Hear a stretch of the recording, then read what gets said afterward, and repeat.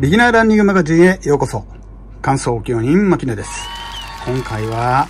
お台場で行われましたトライアスロンの結果、シューズチェックをしたいと思います。まあちょっと回りくどい方、言い方をしたんですけれども、ちょっと諸事情で、えー、真夏の祭典を表現できないのが悲しいところなんですが、まあ今回、えー、月曜日と火曜日に男女行いましたね。えー、なんといっても印象的だったのは、やはり、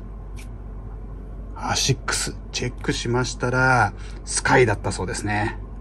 えー、スカイがかなり大人数走っていましたね。で、今回男子から、えー、説明すると、えー、ブルメンフェルク選手、えー、ノルウェーのね、えー、70.3マイルトータル113キロ。こちらのアイアンマンのハーフ。これの世界記録保持者。やっぱり圧に強かったんですね。あの、僕はもうアレックス・イ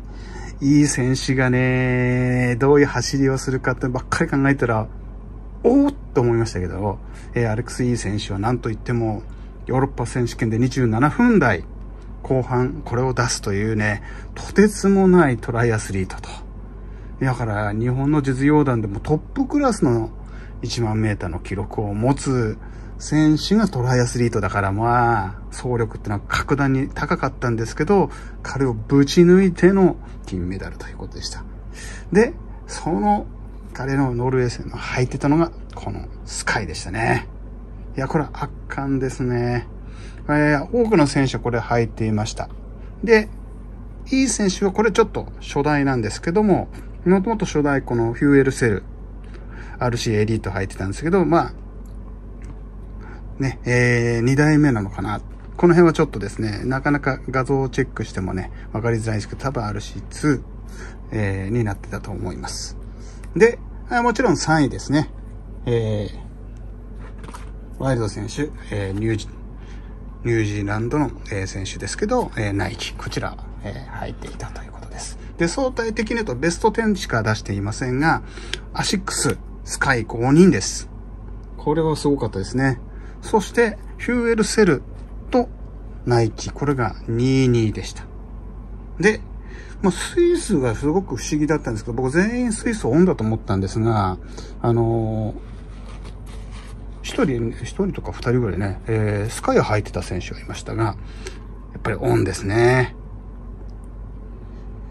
じゃこちら、えー、9位に入ったね、えー、スイスの選手が、なんといっても、エコー。これはまあブームですけど、ブームエコーを履いていたということです。で、一方女子ですね、えー、ダーフィー選手、あの、バミューダの初の金メダリストということで、えー、ここが僕意外でしたが、独走になりましたね、もう途中から。これもすごく、えー、いい走りを見せたんですが、こちらをなんと、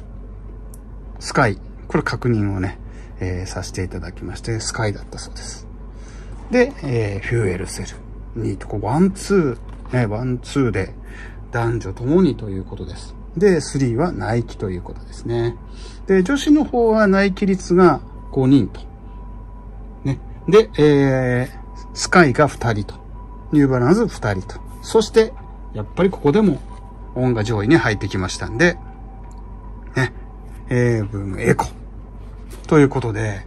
えー、10位以内で計算するとということになりますが、まあ、オンが男女と2名と。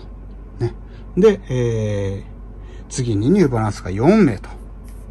で、ナイキが7名と、えー、アシックスも7名ということで、かなり、えー、トライアスロンに関しては分散したんではないかなっていう感じがします。ちなみに、男子ですが、えー、2名、えー、こちらは、えー、ナイキ。で、女子、高橋選手は、えー、このスカイというところで、まあ、かなりこう、トライアスリートだったら新しいものをすぐ導入するということも、えー、ありますんで、この辺は我々ランナーにとって参考になるような結果ではなかったのかなと思っています。ただね、アディダスとかね、ちょっとそこら辺が見受けられなかったのは残念かなと思っていますね。まあ、いずれにしろ、